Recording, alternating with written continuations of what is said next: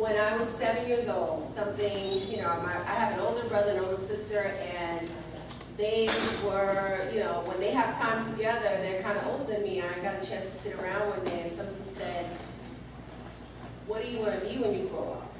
And I wasn't sure, but something said to me, you want to be among the stars. And I didn't know what that meant. I really thought it meant like being an astronomer or I'm going to be an astronaut or something like that. But it kind of gave, gave me a road to go on, to keep following. What does being among the stars mean? So I, I got into the theater. Theater was great. I went to the High School Performing Arts, the school that's based on fame. I went to Fame High School. That was fantastic. I went to college and I still was like, what does this mean? Maybe I want to be in entertainment. Uh, I wasn't sure. Literally, uh, a flyer hit my foot and it was the Warner Brothers writing program State University, which is in Baltimore. So I picked it up and like bells went off, writing for television. And I figured I had the acting experience, I had uh, gone into college for communications, and I thought, maybe there's something to this. So when I got into the program, the writing program at my school, bells went off. It was like, this is it, this feels right, I'm gonna do it, I'm gonna try it, and and so that whole idea of, of uh, being amongst the stars kind of clicked in. But still, how was I going to get to Hollywood? I was a kid, I didn't have a family, had a background with lots of money. I barely got through school. I had, I had three jobs to get through school. Um, I was not a great student. I was about a C plus, maybe a B minus average student. Um, and it was, it was tough. I could have done better in school, but I had to keep my jobs. But in the back of my mind was that whole idea of I wanted to be among the stars. And I wasn't sure what that meant. But I thought if I be, you know, if I continue to take this road, maybe it'll, I'll go into Hollywood. So six months after high, after college, I said to myself, I have got to go to Hollywood. If that's what I'm going to do, writing is, is the way to get into this, I'm going to go. And all the time I'm thinking, I'm not exactly sure how God is using me. I went to Catholic school as a, you know, first to grade, eighth grade, and I had that instilled in me that whatever my mission was was going to be included in what God wanted to do for me, or what I, I mean, what God wanted me to do for Him, and how I was going to work for Him. So I kept that in mind. I'm thinking, television, there's no God in TV. They don't do that. That's that's unheard of. So I'll make a long story short. Six months after I got out of college, I came to California. And I was doing everything and anything that I could to get on the sets. You know, out here in Hollywood, it's tough. I think, do you all know how tough it is to get onto a lot and get into the business? It's tough. You gotta know somebody. I don't know anybody. Uh, again, my family didn't know what it meant to be in Hollywood. They don't know why I had this crazy dream to be a Hollywood writer. But I kept going. And I just did anything.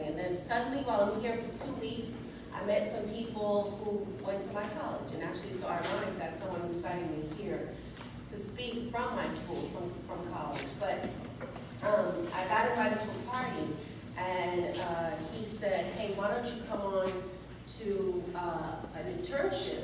There was three of us. He was picking from my college, which was also his alum, um, to come to the uh, to come and work on a show that he was working on. It was a show called Hang with Mr. Cooper. So I worked for two weeks on that show. It was an ABC show. It was a family show. It was great. I was bright-eyed and bushy-tailed every day. I was like, I'm going to do this. And, you know, he was paying us $250. And out of the three of us, he was going to try and do the best that we, he could to keep us going in business. Uh, shorter story long, um, I, the, the two weeks was over. I had written, rewritten my script that I had done at school. Um, my professor at school gave us rave reviews, you know, that we had done great, and the guy who was at uh, in Hollywood had gone to Morgan, and Morgan this professor at Morgan was just you know, pushing us along and saying that we should try to continue, but there was really no room. So after the two weeks were over, I was back at it again. What am I going to do? How am I going to make it? He, uh, someone on the set, messing up, wasn't doing good, uh, got fired. And it was a production assistant. So I'm walking up and down Hollywood, trying to figure out what I'm gonna do next. Uh, I went to every studio possibly that I could get to and give out my resume like I thought was the normal thing. And, you know, I was staying with a woman who said, who's a travel agent, she said, I'll get you a flight back. If you want to go home, I'll let you go. And so I was praying to God, like, God, I don't, know, I don't know what to do. I'm beating, I'm pounding the pavement, I'm giving out my, I'm doing everything I'm supposed to do. God, what else, what else am I supposed to do? And so I, you know, I kind of gave up. I said, look, I don't have any more money. I'm here on a credit card. It's not even mine, it's my brother's. I have to go home. Lo and behold, I was supposed to leave on Friday. On Wednesday, I got a call from Mr. Cooper, the production office. And they said, Doreen, we love you. We thought you were great. We, we love your energy. We love you come and work on our show. Would you, would you take it? Of course, I was like, yes, I'm coming, I'm coming. So I worked as a production assistant. I did everything from get bagels, fetch coffee, did all that. Um, but my idea was to get to be a writer. And that same year, I got to write on a show called Martin. That was great for me. I got Writers Guild card. I was in. I was going to do my thing. And here I am. I'm a Hollywood writer, but I'm still saying to myself, how am I going to serve what I'm doing? Where, you know, where, where are those places for people who want to instill uh, in kids' minds that they should follow their dreams?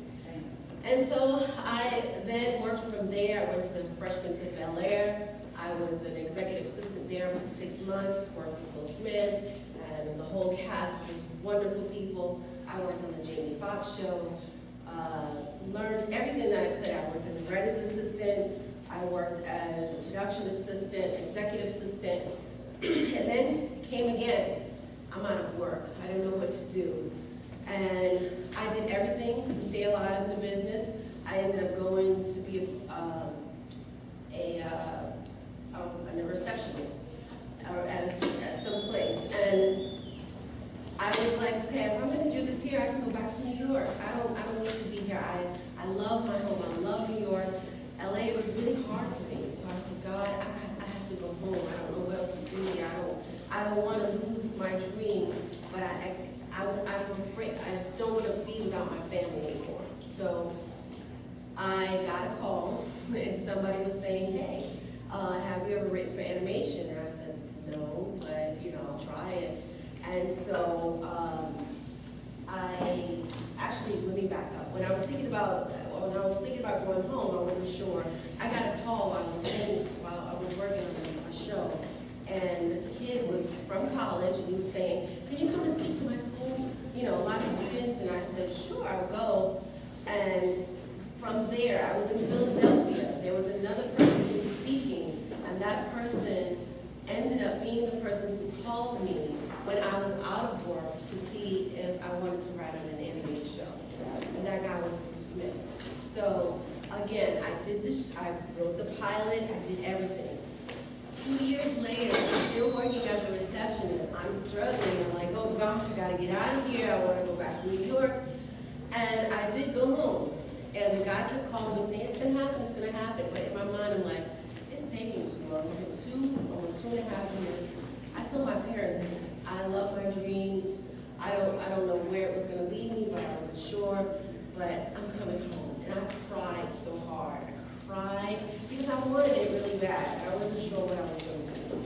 And that same day, 20 minutes later, I get a call. And the guy said, hey, the Proud Family's been picked up for 22 episodes. Uh, so whenever you're ready to come back, we're ready to work. I didn't believe him. I was like, okay, that's nice. Well, I'm, I'm moving back to New York. And he's like, no, no, no, no, you got to come back. And so I came back to work 22 episodes. Um, my name is Doreen Spicer and I'm glad that I was here to talk to the kids today uh, because it is important that they keep their God-given purpose in mind as they're going along in, in their journey um, so that they'll know what their life is all about, what their purpose is for life and how they can impact society with their, with their work. So I think this is a great thing that uh, Grow is doing and I'm really, really proud to be a part of that for anyone who, who feels like they are at a disadvantage, whether it's monetarily or um, because they're a woman, there are roadblocks out there, and there's something that you just can't let get in the way. There are ways around them, and most of all, it's part part of life. It makes you stronger, and the biggest thing is you have to know that there's something out there for you to do, and you have to know that it is it is your God-given right that you can get anything and have anything that you want in life. You just have to constantly keep going, not let anything get in your way, and stay strong-minded pray as much as you possibly can because if you have nothing else, if you don't have a friend, you have a mother, father, anyone to listen to you, you have God. And the best thing to do is when you pray to God, sit for a moment and listen, and He will talk to you and tell you exactly what you need to do.